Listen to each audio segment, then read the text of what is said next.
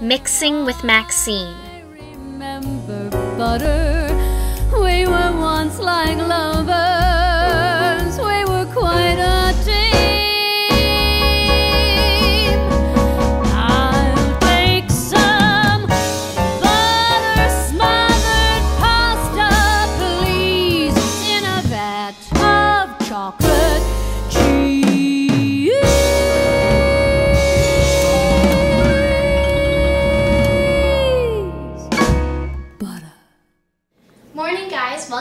To Mixing with Maxine. I know it's been a little while, but you know, the storm, no power. Um, today, we are going to be making chocolate mousse. So, the first thing you do is you put your butter, you have four tablespoons of butter,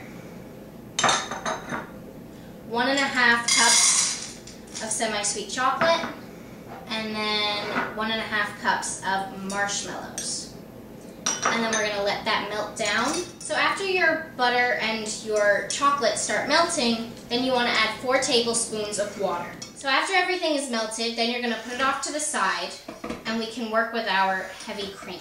So then, once our mixture is done, we're going to put one cup of heavy cream and one teaspoon of vanilla extract, and then we're gonna whip it until we have stiff peaks.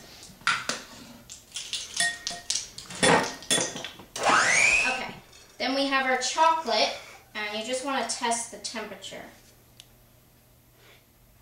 Yeah, it's still too hot, so you have to make sure that the chocolate isn't too hot for the whipped cream, otherwise it'll fall apart and your mousse will not be mousse, it will be liquid. So we're gonna wait and then we're gonna check the temperature of the chocolate again and then we'll see if we can fold it in. Okay, so now that our chocolate is cool enough to pour into the whipped cream and it's just warm. When you touch it, it's just warm, so it's perfect at this point. We can put it in our whipped cream and we're gonna gently fold it in, otherwise the peaks disappear. Okay, so now that everything is mixed together, you can put it in the fridge to cool until you're ready to serve. Or if you want to serve it now, then you can.